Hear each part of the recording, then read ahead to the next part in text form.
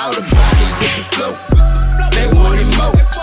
I give them more. Yo, what's up, guys? It's your boy BJ. Just got home, just got off work. Uh, doorbell rang, got some uh, boxes in the mail. They weren't supposed to be here till Saturday, according to my email.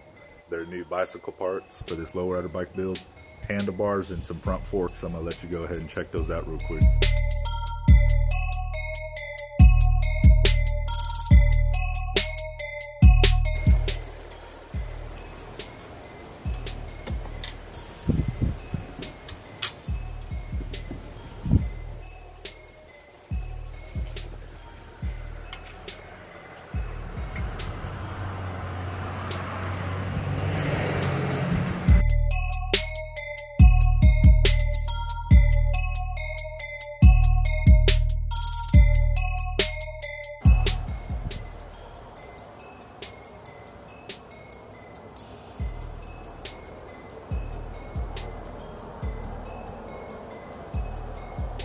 I just want to make a quick shout out to Vegas is my spot on eBay is where I found these lowrider bike parts. Uh, he's got some pretty cool stuff on there. Make sure to check him out.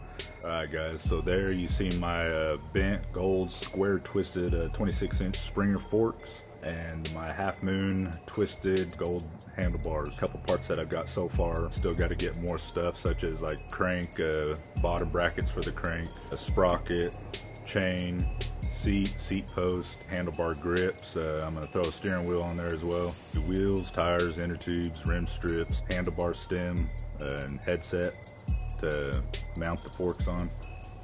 And that's basically it, uh, besides the paint that I need for the paint job. Uh, looking into some uh, stencils too, maybe do some stencil work in the paint. Not for sure yet. So that's that for right now. Um, anytime that I get more parts in, I'll make sure to get a video clip of that stuff so you guys can check it out during this process. Hopefully soon we can get this bike done. So stay tuned. Uh, don't forget to subscribe, uh, hit that notification bell, and support Tucked TV. Peace.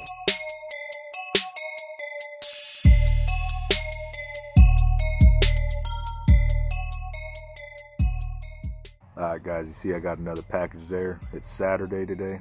Now I'm over here kicking at Homeboy's house and got an email from Amazon that a new bicycle part has been delivered. What it is is my gold three and a half inch uh, bicycle crank. I'll go ahead and let you guys check that out right now.